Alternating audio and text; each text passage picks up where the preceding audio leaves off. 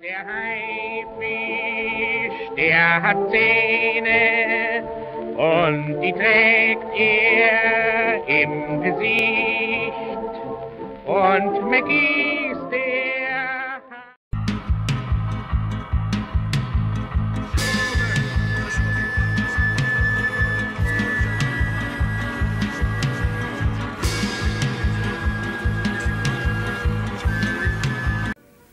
Permettete che mi presenti.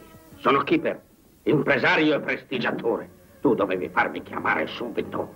Mi rallegro di conoscere personalmente un notabile della città. No, no, no, io sono qui. Certo, come a casa sua. No, sono qui per... Vedo, vedo che lei è qui e mi fa molto piacere, professore. Perché non mi hai fatto chiamare? Sono il tuo impresario o no? Sei un vecchio trombone.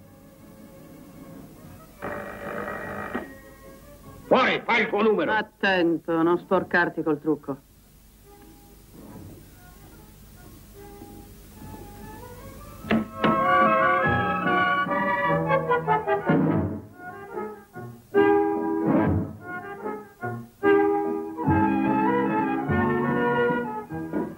Impareggiabile femmina.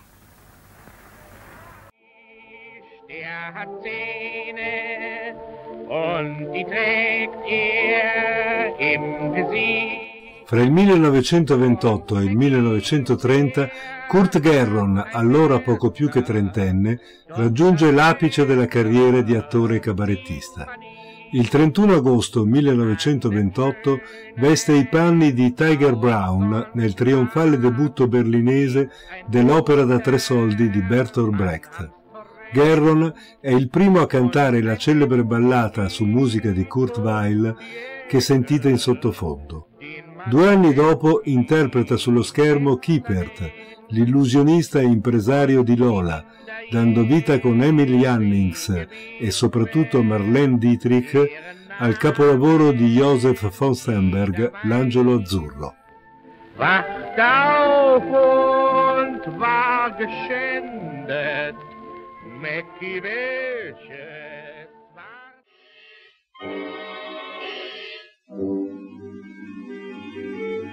Kerron, croce al valore nella prima guerra mondiale, è il tipico prodotto della Berlino fra il 1920 e il 1933. Una città all'avanguardia su tutti i fronti, in perenne fermento letterario, artistico, politico e filosofico. Una metropoli che rinasce dalle sue ceneri, ma cova sotto quelle stesse polveri il drammatico malessere da cui spunterà il Terzo Reich di Adolf Hitler.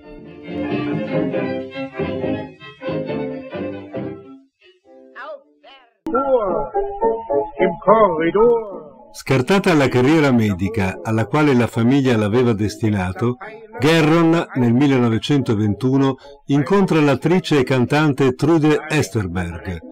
Insieme fondano il Wilde Bühne, palcoscenico selvaggio, cabaret politico-letterario in cui muoverà i primi passi anche Bertolt Brecht. Gerron, fisico imponente, tratti marcati e inconfondibili, sarà una delle star indiscusse del decennio, muovendosi a proprio agio fra cabaret, teatro e soprattutto cinema, fino a decidere, all'inizio degli anni 30, di passare dietro la macchina da presa.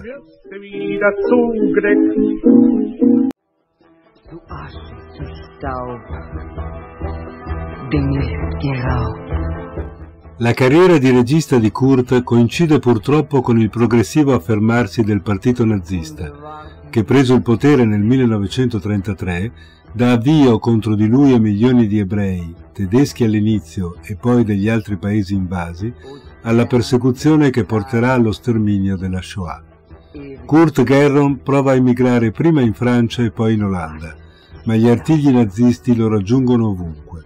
A gennaio del 1944 viene arrestato ad Amsterdam e trasferito prima al campo di smistamento di Westerbrock, poi al campo ghetto di Theresienstadt. E qui inizia l'ultima parte della sua parabola umana e artistica.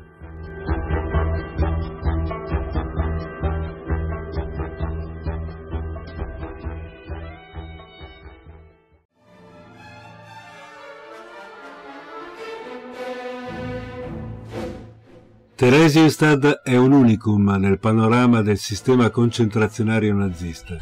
La piccola fortezza settecentesca a 60 km da Praga viene destinata da Goebbels a palcoscenico di un grande inganno. Si costruisce, cioè, un falso esperimento di città per giudei, nella quale vengono confinati soprattutto scienziati, artisti e personalità della cultura. I nazisti la chiamano zona di insediamento ebraico. Durante l'ispezione della Croce Rossa internazionale nel giugno del 1944, al delegato Maurice Rostel viene mostrata un'inesistente vita quotidiana, fatta di lavoro, scuole per i bambini e persino teatri e svaghi serali a base di concerti e spettacoli di cabaret. Non manca nemmeno lo sport, con un'appassionante partita di calcio. A Goebbels però non basta. Vuole convincere il mondo intero. E che cosa meglio di un film può fare a suo caso? Serve quindi un regista. Karl Ramm, ultimo comandante di Theresienstadt, ce l'ha sotto mano. Si chiama Kurt Gerron.